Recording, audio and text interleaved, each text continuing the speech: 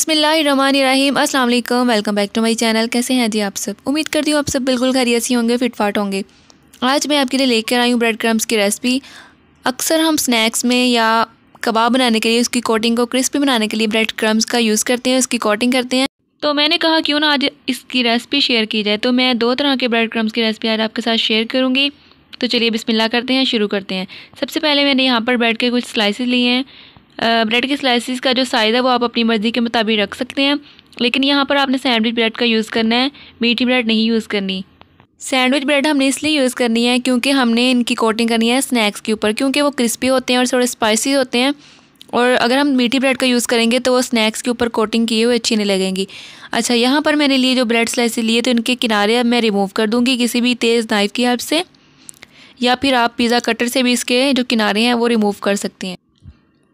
इनका जो ब्राउन वाला पार्ट है, उनको हम ज़ाया बिल्कुल भी नहीं करेंगे, बल्कि हम उनके भी क्रम्स बनाएँगे। दो तरह के क्रम्स की रेसिपी आज आपके साथ मैं शेयर कर रही हूँ।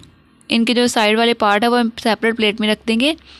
इसी तरह से सारे जो ब्रेड के स्लाइस लिए हम उनके किनारे रिमूव कर देंगे और उनको प्लेट में रखते रहेंगे।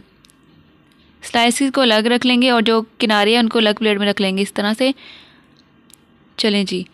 ये देखें, इस तरह से आपने बारीक बारीक कटिंग की है। कटिंग आपने इसी तरह से करनी है।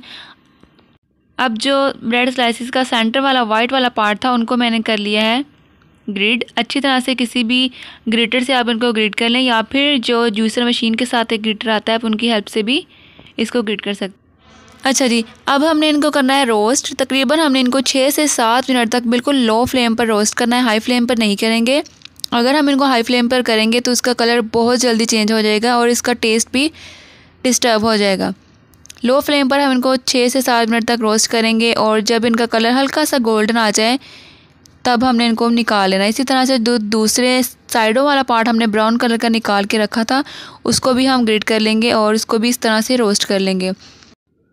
आप अक्सर बाज़ार से लाकर ब्रेड क्रम्स महँगे महँगे यूज़ करते होंगे, आपको बहुत ज़्यादा मुश्किल पेश आती होगी, क्योंकि बाज़ार वाले ब्रेड क्रम्स इतने अच्छे भी नहीं होते और वो बहुत कॉस्टली पड़ जाते हैं, लेकिन आप घर पर बना के देखें बहुत आपको इजी हो जाएगा। स्नैक्स में आ, लोग क्रिस्पी बनाने के लिए कबाब अक्सर टूट जाती है तो उनके ऊपर हम लगा देते हैं। उससे कबाब बिल्कुल भी नहीं टूटते। कोटिंग में बहुत आसानी करते हैं और क्रिस्पी भी हो जाते हैं। तो इसको लाजमी यूज़ कीजिएगा और ये बिल्कुल भी ख़राब नहीं होते। अगर हम वैसे इनको ग्रिड करके रख दें तब ये दो या तीन दिन तक ख़राब हो जाएँगे। लेकिन हमने इनको किया है रोस्ट तो तकरीबन ये दो से तीन मंथ के लिए आसानी से चल जाएँगे। आप किसी भी जार में इनको बंद करके रखें तो ये बिल्कुल भी ख़राब नहीं होंगे ना ही इसे स्मेल आएगी। और कुकिंग करते वक्त या स्नैक्स बनाते में बहुत हमारे काम आते हैं। तो रेसिपी को लाजमी ट्राई कीजिएगा।